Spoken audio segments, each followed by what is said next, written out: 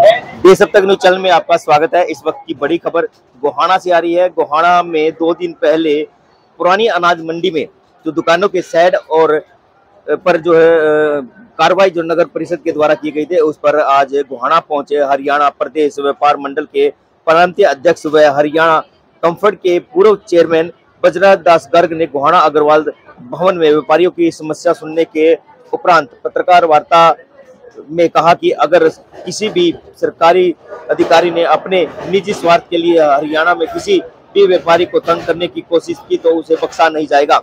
सरकारी अधिकारी रिश्वत लेने, लेते हैं तो उनका जन्मसिद्ध अधिकार समझते हैं। वहीं गोहाना में नगर परिषद द्वारा अतिक्रमण के नाम पर तोड़ी गई दुकानों के आगे सैड और रैप का भी जायजा लिया और उन्होंने कहा कि सरकार दुकानदारों के आगे तोड़े गए शटर का नुकसान मुआवजा देने की मांग की है। आज प्रदेश में अफवाहें पूरी तरह से हावी हैं। हरियाणा के मुख्यमंत्री मनोहर लाल बोलते हैं कि मैंने खर्ची व पर्ची बंद कर दी है। जब रिश्वत टैचियाँ भर भर कर जाती हैं, ऐसे में खर्ची और पर्ची का कोई मतलब नहीं रहता है। बजरंग दास गर्ग ने कहा कि सरकार की गलतियाँ, गलत नीतियों के कारण प्रदेश में लगातार व्यापार और उद्योग पिछड़ता जा रहा है, जिसके कारण लगातार प्रदेश में बेरोजगारी बढ़ रही है और कानून व्यवस्था की स्थिति भी बद से बदतर हो चुकी है। आप तस्वीरें देख सकते हैं, जहाँ पर गोहाना की पुरानी अनाज मंडी में दो दिन पहले हुई नगर परिषद के द्वारा जो कार्रवाई हुई थी, उसको लेकर आज जो है वो गोहाना पहुँचे और दुकानदारों से भी मुलाकात की और पत्रकारों से भी उन्होंने प्रेस वार्ता के दौरान जो है हरियाणा की खट्टर सरकार पर जमकर बरसते हुए सामने नज़र आए। और आप सभी से अपील रहेगी कि इन तस्वीरों को ज़्यादा से ज़्यादा शेयर करें ताकि हर व्यक्ति तक यह खबर पहुँचे कि गोहाना में दो दिन पहले नगर परिषद द्वारा जो कार्रवाई की गई थी, उसका हरियाणा व्यापार मंडल ने उसका विरोध किया है और उन्होंने सरकार से दुकानदारों का मुआवजे की मांग की है। आप सभी से अपील रहेगी कि इन तस्वीरों को ज़्यादा से ज़्यादा शेयर करें, क्योंकि ये तस्वीरें जो है,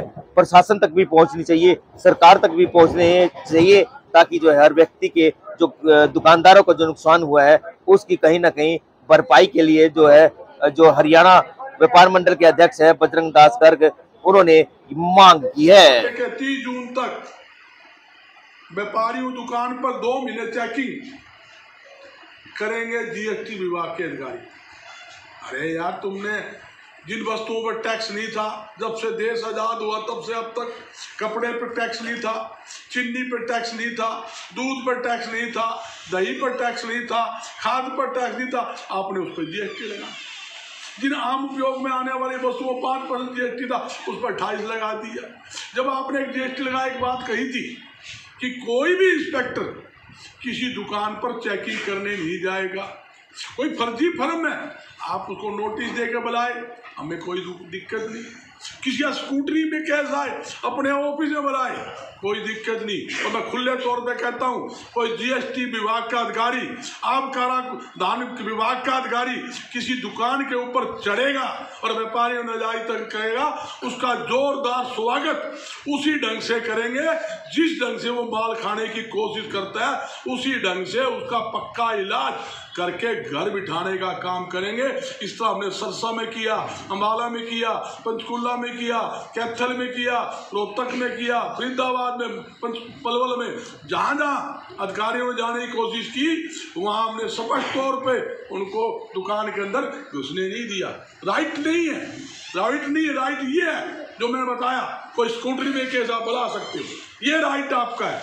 ये थोड़ी है, आप किसी मन में चाहो दुकान में जाकर चेकिंग करोगे पर तेरा क्या लेन है, क्या देन है, तेरे खाते दिखा, तेरे फुफ्फे की दुकान है, हमारी दुकान है, करोड़ों अरबों रुपए हमने लगा रखे हैं। तो हम करोड़ों रुपए लगाकर सरकार को खजाना भरने में काम करते हैं रोज सरकार का बयान आता है, केंद्र की सरकार का, प्रदेश की सरकार का। क्या बोलते हैं? आई क्वार्टरली लोग कहते हैं जीएसटी और हरियाणा का एच जीएसटी दोनों टैक्स पहले से हमारा डेढ़ा आ गया, दुगना आ गया, अस्सी परसेंट ग्रोथ हो गई, सत्तर अरे जब हम ईमानदारी टैक्स भर रहे हैं तो हमारा गला क्यों घोटा जा रहा है? तो मैं सरकार से भी कहना चाहता हूँ, ऐसे भ्रष्ट अधिकारियों का इलाज करने का काम करे। नहीं तो भाई मजबूरी में व्यापारी तकलीफ़ में है, ना मंडी में काम है। आड़त की जगह हमारी आड़त कम कर दी, जब गेहूँ पर ढाई परसेंट आड़त थी, वो कम कर दी।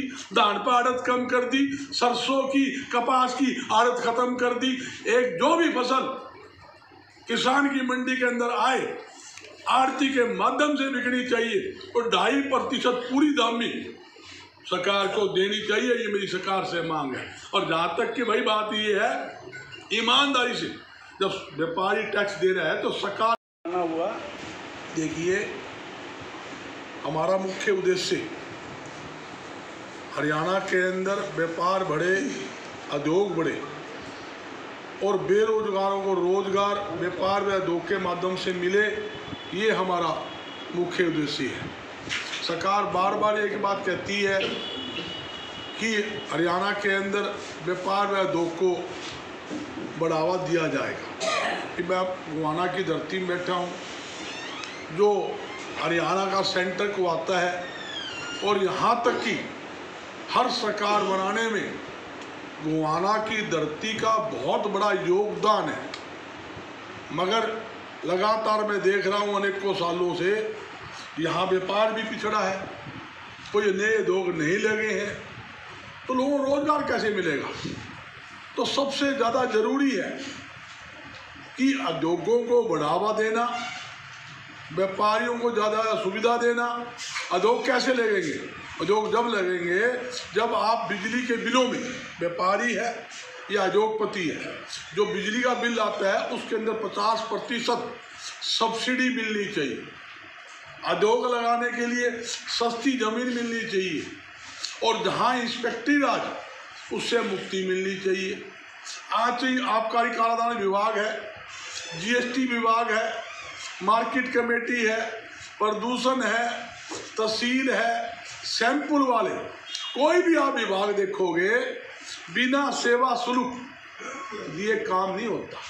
और मैं सरकार को भी कहना चाहता हूँ, और सरकारी अधिकारियों को भी कहना चाहता हूँ, अगर किसी सरकारी अधिकारी ने अपने निजी स्वार्थ के लिए, मैं खुले तौर पे हर जगह कहता हूँ, और इलाज भी करता हूँ, अगर किसी भी सरकारी अधिकारी ने अपने निजी स्वार्थ के लिए किसी भी व्यापारी को तंग करने की कोशिश की उसे बख्शा नहीं जाए।